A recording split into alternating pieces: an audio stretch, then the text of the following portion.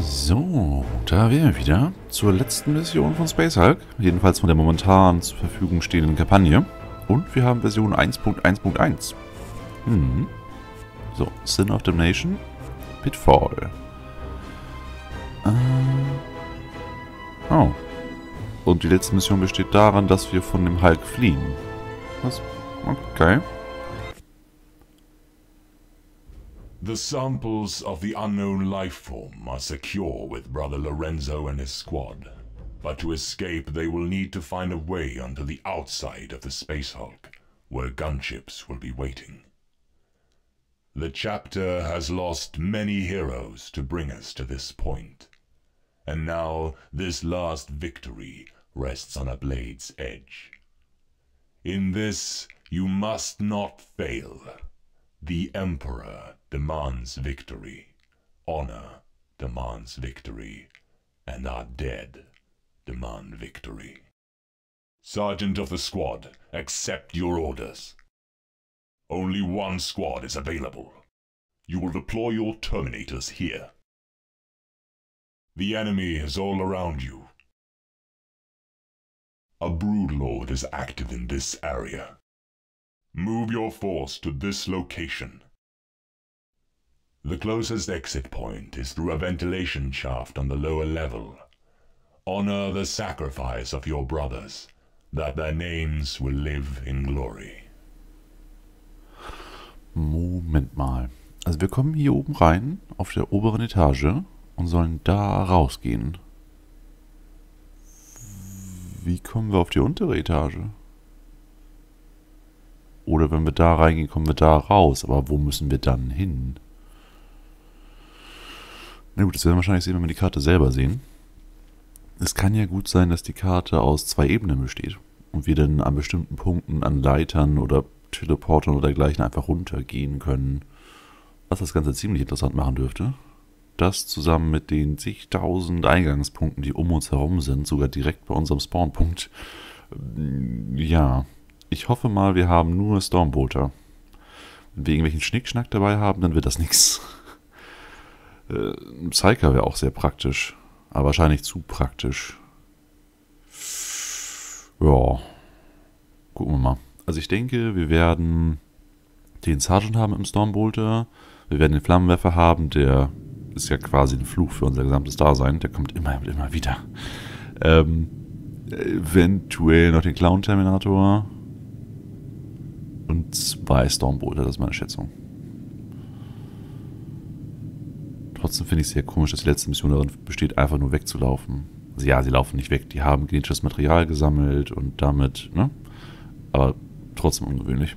Hm, manche Missionen, das ist die einzige Mission, manche Missionen werden auf zwei Maps geführt. Eine drüber, eine drunter, verbunden durch Leitern. Leiter zu benutzen kostet für einen Terminator 2 AP und für einen Genestealer 1. Okay. Ach du. Äh.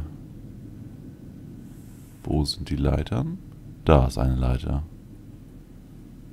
Warum sollten wir zu der Leiter gehen, wenn wir einfach hier raus können? Sehr, sehr komisch. Sagt, wir haben nur vier Mann und es müssen mindestens drei entkommen. Ah, ah wir haben den Psyker, das ist schon mal okay.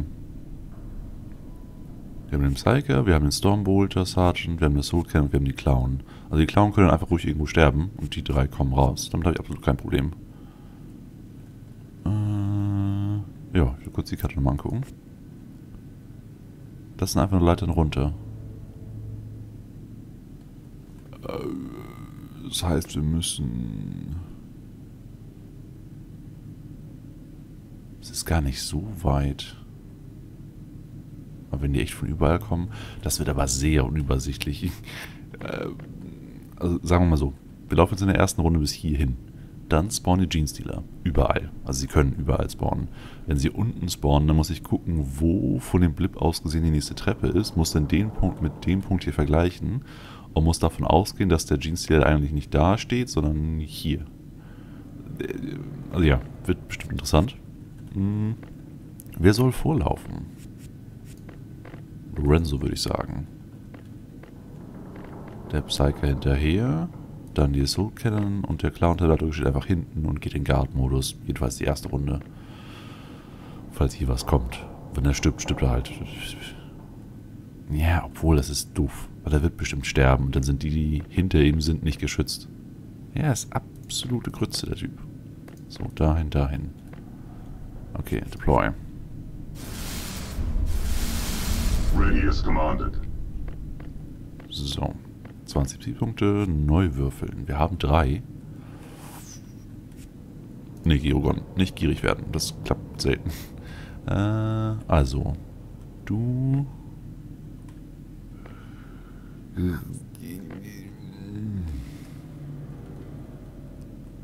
Da ist eine Leiter da. Das ist ein Horror zu verteidigen. Aber das ist auch der Sinn des Ganzen. Ne? Wir sollen nichts verteidigen, sondern einfach panisch rauslaufen. Warte mal. Wie wechseln wir eine Etage runter? Äh, müssen wir dazu einen Terminator auf der Etage haben? Fast so aus. Okay, gucken wir mal, ob wir hier unten irgendwas besser verteidigen können. Nö. Ist ja genau das gleiche. Ist einfach nur zwei Etagen übereinander. Ja, dann gehen wir einfach da lang. Du gehst oben lang, damit wir mehr abdecken können. Du stellst dich da, dass du beides theoretisch abdecken kannst. Geh weiter. Du läufst alle vier Punkte vor. Und wenn was apart. hinter uns spawnt, haben wir einfach Pech gehabt. So. Wir haben noch drei Punkte über. Ähm, Das ist absolut mies. Also ja, wir gehen einfach weiter.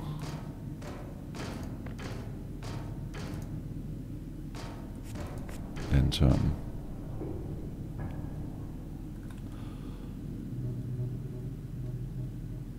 Das ist jetzt eine Etage unter uns. Ja, okay, auch recht interessant gelöst. Aber es wäre sonst wahrscheinlich zu schwierig ähm, darzustellen. Also wirklich unter uns. Also wir müssen jetzt diese Etage uns angucken und das dann über unsere Etage liegen. Das heißt, der da steht gerade auf dem Soul Terminator. Oder hinter ihm. So, ein Blip hier. Der könnte also gleich rauskommen. Ein Blip da. Der braucht noch recht lange. Der Blip hier müsste bis zu der oder der Leiter laufen. Das passt soweit. Also der einzige, der eine Gefahr darstellt in dieser Runde ist der Blip. Das können wir aber ganz, an, ganz einfach ausschalten, indem wir für zwei Psi-Punkte hier eine Force Barrier hinklatschen. Nee, wir sollten nicht anfangen, die aufzustauen. Das hatten wir schon mal gemacht und dann kamen sehr, sehr, sehr viele. Ähm, Also du...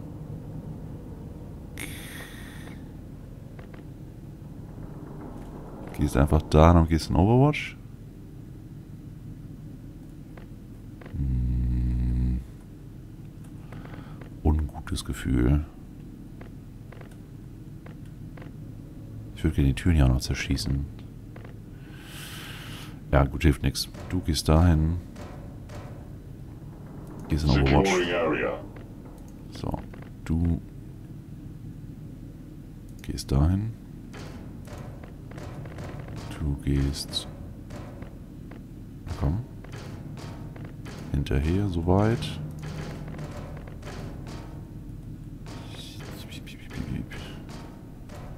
Du gehst dahin. Du hast noch Punkte, richtig? Ja, zwei. Du drehst dich dahin.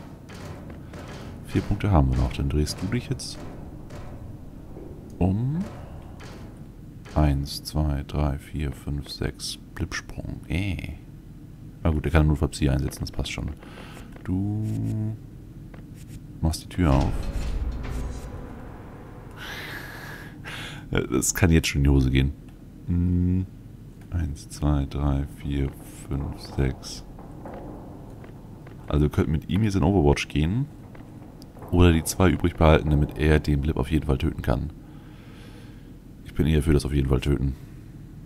Hm, Entern. So, jetzt bist du schon... Komm, komm, komm, komm, komm.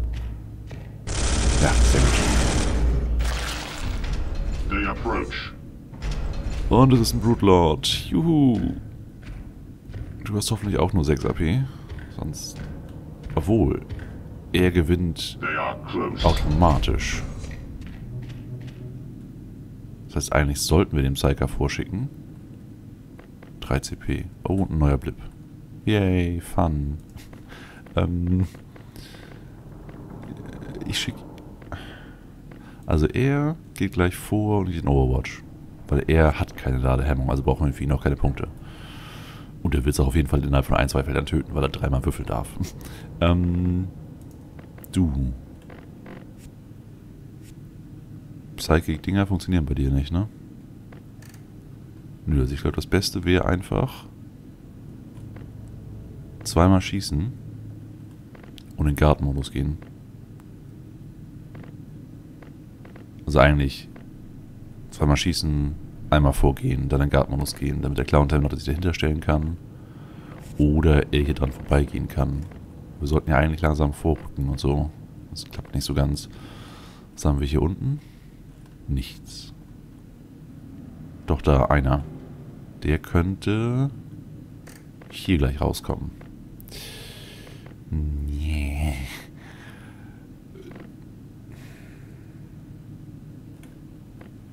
hilft nichts. Er hat ganz viele Siegpunkte, die wird er gleich verbrauchen, dann ist gut. Also, schießen.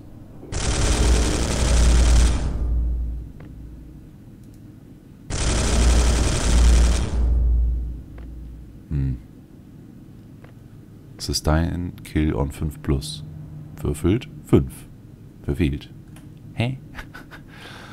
Ach ja. Hm. Also einfach ranlaufen, Guard-Modus gehen und hoffen. Ich würde eigentlich jetzt gerne vorne noch ein paar Mal drauf schießen, aber das kommt mit den Punkten nicht hin. Ja. Vertrau der Macht des Imperators. Und geht shield. Ja, das ist er hoffentlich. Du gehst an ihm vorbei. Du gehst vor. Gehst in Overwatch. Du gehst dahin. Du musst gar nicht in Guard-Modus gehen. Er kann nicht sterben. Er wird den nächsten Angriff auf jeden Fall gewinnen. Im Notfall muss er halt 5, 6 Punkte da reinpacken. Aber er wird gewinnen. Oder warte. Packt er so lange Punkte rein, bis er nicht stirbt. Da ist ein dezenter Unterschied. Ähm. Na gut, so oder so sollte er jetzt eigentlich weiter in die Richtung gehen. Kann er nur nicht. Wir brauchen die zwei Punkte aber nicht. Das heißt, er könnte sich drehen.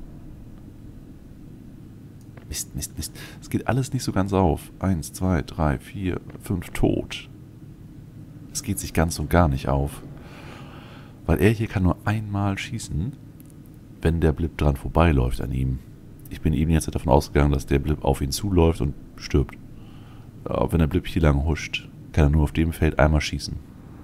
Und wenn das drei sind, oder ein Brute Lord, wenn es mehrere auf derselben Karte geben darf, ähm, dann ist ja doch eine recht hohe Chance da, dass einer durchkommt. Aber ja, hilft nichts. Wir spielen gerade ein sehr risikoreiches Spiel, also müssen wir auch Risikos weiter eingehen. Du da lang, du da lang. Und das Beste hoffen. Enter.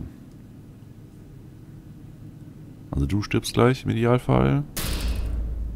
Gucken wir. The machine spirits guide my fire. Sechs Psi-Punkte. Ah, ist übel. Das sind nur zwei. Komm, bring ihn auch um. Was zur Hölle? Äh, was? Das war das erste Magazin. Das war sein zweiter Schuss. Oder zählt das noch zum ersten? Das ist nicht schön. Ganz und gar nicht schön. Okay, du. Du schieß mal. Und schieß mal.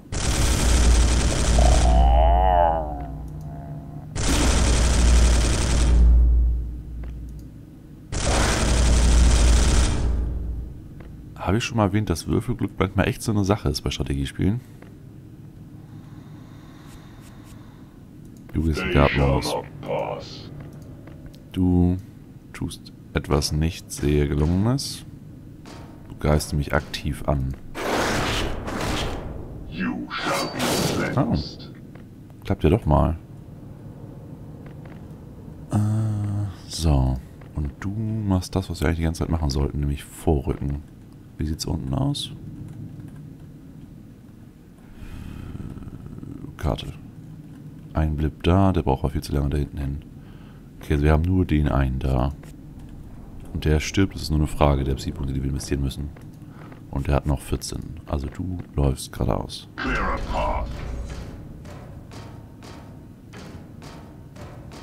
Kannst du noch einen? Ja. Die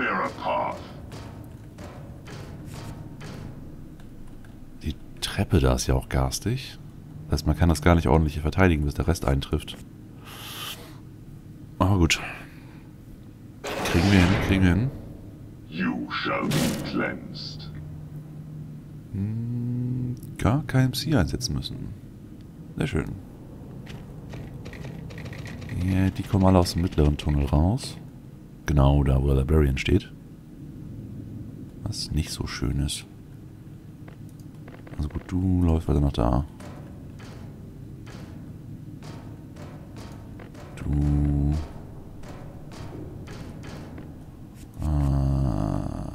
läufst dem Sergeant hinterher. Weil ich denke, er wird jetzt die ganze Horde aufhalten müssen. Das heißt, die beiden ziehen sich zurück. Weil auf ihn kann ich mich einfach nicht verlassen. Auf ihn hier kann ich mich hundertprozentig verlassen, solange er Psi hat. Das ist schon ganz praktisch. Das heißt, er geht jetzt dahin, dreht sich um. Geht in Gartenmodus. Aber wir können noch einen vor, richtig? So, sechs Punkte. Haben wir noch zwei Punkte über für Gartenmodus. Ja, sehr gut. Warum schießt du? Achso, weil unter dir Jeans wieder sind. Okay. Gartenmodus. Let them come. So, Enter.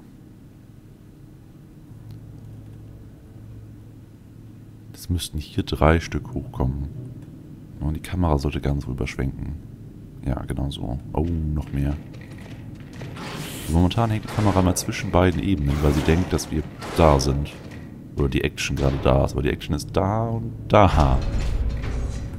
Daran sollten die Jungs auch noch arbeiten. Also ich mag das Spiel tierisch, aber es sind noch ziemlich viele Bugs da. Also primär mag ich das Warhammer-Universum und ich mag das Original-Brettspiel. Deswegen kann man sich recht schnell in das Spiel hier vergucken. Aber die Bugs sind doch ziemlich lästig. Ähm, ja. Du. Hm. also wir könnten einen großflächigen Psychic Storm machen und hoffen, dass die hier alle sterben. Was unwahrscheinlich ist. Aber danach könnte er sich umdrehen und die da umbringen. Wie sieht's unten aus? Unten ist gar nichts. Dafür ist hier ein Blip. Okay, gucken wir mal ganz kurz. 4 plus für einen Kill. Oh, der erwischt den einen hinter dem Clown-Terminator nicht. Äh, ja gut, hilft nichts.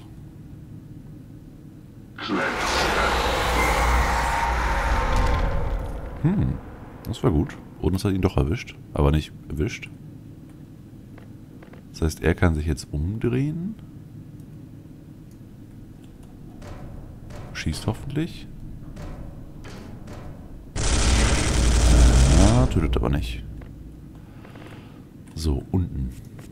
Unten war nichts. Okay, das heißt nur die zwei, da sind eine Gefahr. Und sind dadurch nicht wirklich eine Gefahr, weil er geht jetzt in Guard-Modus und hat noch 11 Psi-Punkte zum Töten. So.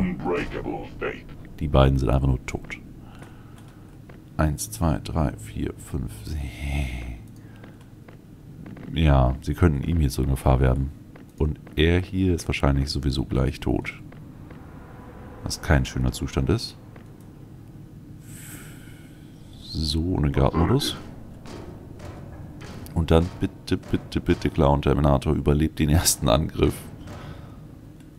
Sonst hast du echt einen Ruf weg. So. Du.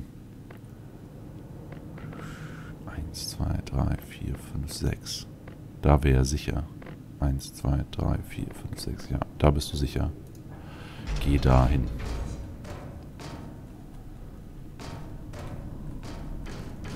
So, einziger Knackpunkt, er hier. Mal wieder. Es könnten vier Jeans-Dealer werden, wobei 1, 2, 3, 4, 5 höchstens ein oder zwei von denen angreifen könnten. äh, wir haben noch einen Punkt über. Das heißt, der muss hier noch weiter. Du dreh dich mal und schießt hoffentlich. Ja. Sehr gut. Endturn. Bitte, bitte, bitte, bitte, bitte. Clown Terminator. Du bist eine Tötungsmaschine. Du musst töten und nicht mit dem ersten Schlag sterben. Death demands vengeance. So, zwei Psi-Punkte. Er müsste noch neun haben. Ja, sehr gut. Nächster.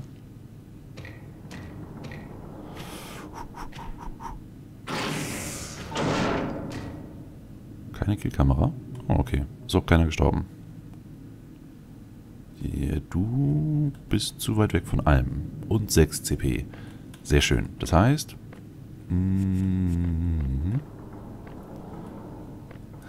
Es hängt an ihm. Es hängt verdammt nochmal an ihm. Äh, wir könnten sehr viele CP verbrauchen, um ihn hier dahin zu bringen. Dann geht er da an Overwatch und bringt den um. Ich glaube, das ist sicherer, als wenn wir versuchen würden, mit ihm anzugreifen.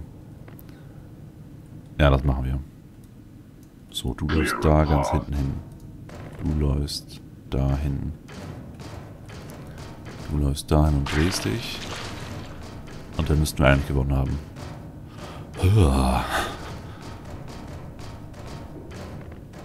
So, du gehst in Overwatch. Du benutzt einen Punkt, um noch dahin zu gehen. Ja, okay, nächste Runde schaffen wir es vielleicht nicht ganz, alle reinzubringen.